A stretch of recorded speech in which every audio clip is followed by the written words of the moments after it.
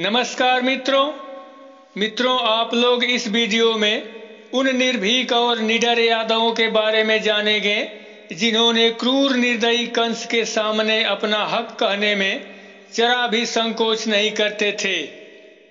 तो बात उस समय की है, जब कंस के सभी मायावी राक्षस भगवान श्री कृष्ण को गोकुल में मारने गए और वे एक एक करके कृष्ण के द्वारा मारे गए।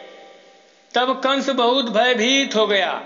इसके बाद उसने रात्रि में ही अपने पिता उग्रसेन सहित सभी मानिंद यादवों को बुलाकर कुछ इस प्रकार से कहा, जिसका वर्णन महाभारत के खिल भाग, जिसे हरिवंश पुराण भी कहा जाता है, कि विष्णु पर्व के अध्याय 22 में विस्तार पूर्वक मिलता है, जिसमें कंस यादवों के प्रति कुछ नरमी का भाव प्रकट करता है।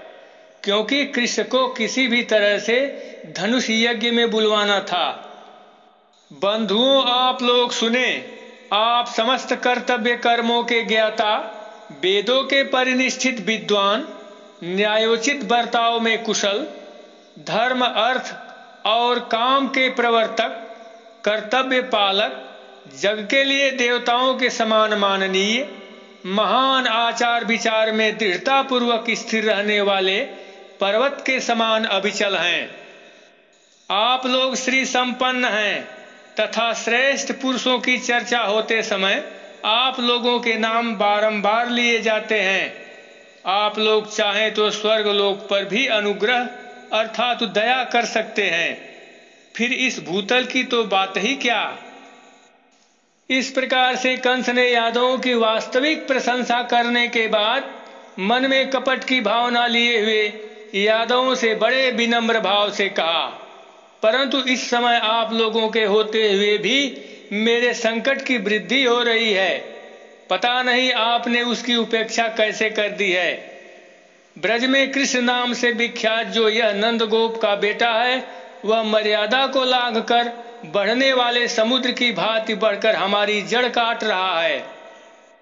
नंद के घर में उत्पन्न हुए उस अद्भुत कर्मा बालक का आश्रय क्या है, यह मैं नहीं जानता। उसे बस में करने का उपाय क्या है, इसका भी मुझे पता नहीं। तथा उसमें कितना पराक्रम है, यह भी अच्छी तरह से ज्ञात नहीं हो सका।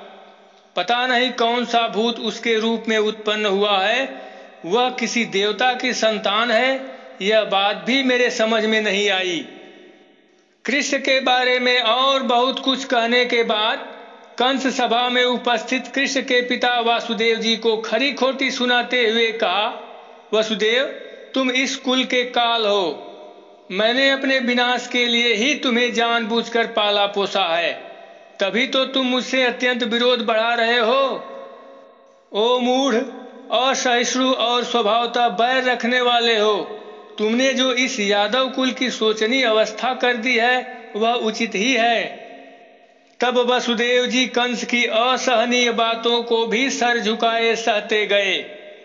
तब यदुकुल के उन सभी श्रेष्ठ पुरुषों ने, यदुकुल तिलक वसुदेव पर आक्षेप होता देख, शीघ्र ही हाथों से अपने अपने कान बंद कर लिए। उन सबको यह निश्चय हो गया कि कंस की आयु समाप्त हो चली है। उसी समाज में वक्ताओं में श्रेष्ठ अंधक भी थे, जिनके मन में कंस से तनिक भी भय नहीं था। उन्होंने धैर्य से अपनी वाणी को विकार रहित रखते हुए कंस से ओजस्वी स्वर में कहा, बेटा, तुमने जो इतनी देर तक भाषण देने का कष्ट उठाया है, तुम्हारा यह परिश्रम मेरे मत में आदर या प्रशंसा के योग्य नहीं है।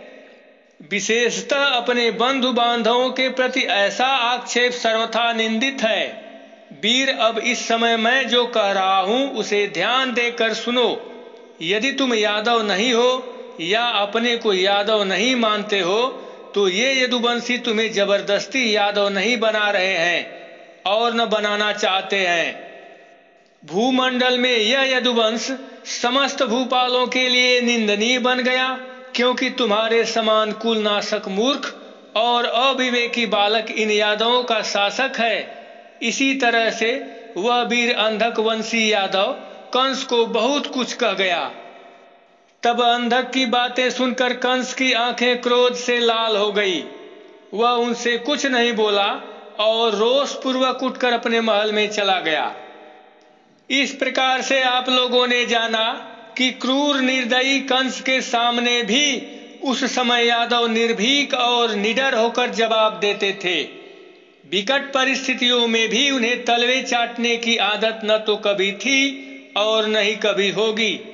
एक सच्चा यदुवंशी गरीबी की मार सह लेगा किंतु वह अपनी इज़्ज़त और मान के लिए मर मिटेगा। शायद यही कारण है कि कोई यादव कभी अपना धर्म परिवर्तन नहीं किया। तो मित्रों, यादवों की मान सम्मान वाला यह प्रसंग कैसा लगा अवश्य बताइएगा। फिर मिलेंगे एक नए वीडियो के साथ। तब तक के लिए नमस्कार।